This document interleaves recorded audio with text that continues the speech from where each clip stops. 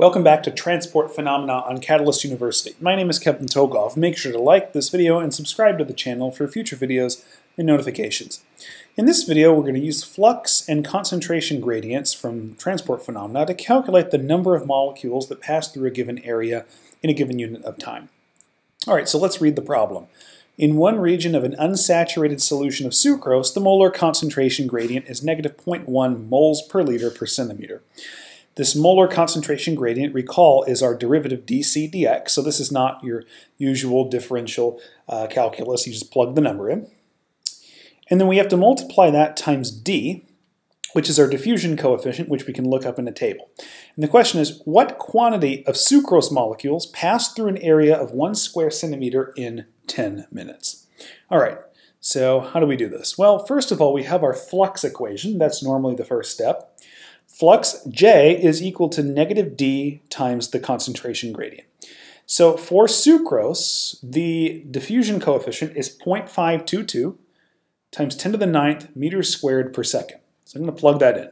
J, our flux, is negative 0.522 times 10 to the minus ninth meters squared per second, times the concentration gradient, which is negative 0.1 moles per liter per centimeter. Now, if I was to just do this, it would be nonsense because the units don't match up or cancel correctly.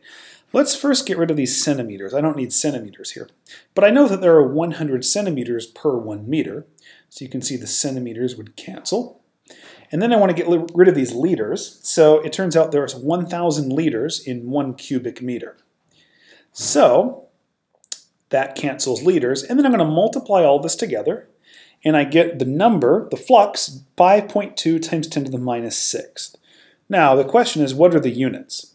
Well, notice liters cancel, centimeters cancel, moles doesn't have anything to cancel, so a mole is going to appear here.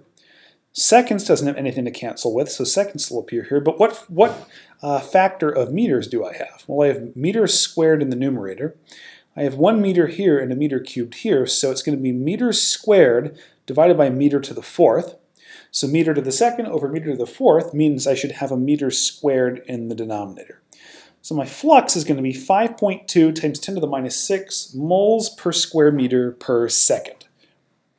Now I have the flux, and in the problem I also have the area through which the molecules are passing and the time interval.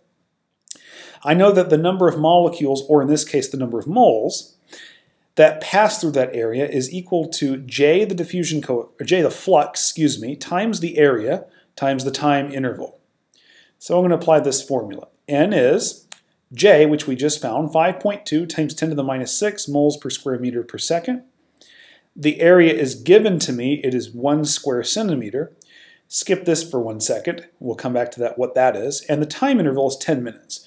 Now 10 minutes in seconds is 600 seconds. I would just take the number of minutes and multiply by 60. So 600 seconds. Now, the reason I have this conversion factor right here is because I don't want these square centimeters. So I have to convert these square units to, to the square meters. Okay, so it turns out that for every centimeter, there's a, for every 100 centimeters, there's one meter. So if there's a square centimeter, then I have to take 100 squared centimeters squared is equal to 1 squared meters squared. And this is how you convert the square units. Square centimeters cancel, meters squared cancels, and the seconds cancel, and my only units left are moles. When I multiply all the numbers together, I get 3.12 times 10 to the minus 7th moles. And if I were to multiply this times 10 to the ninth, I would get units of nanomoles, and it would be 312 nanomoles. So that's the number of moles that cross that area per unit time given the flux that we calculated. If I wanted to calculate from here the absolute number of molecules, I would just take this moles right here and multiply by Avogadro's number. So take 3.12 times 10 to the minus 7th times 6.02 times 10 to the 23rd molecules per mole and that would give you the number of molecules.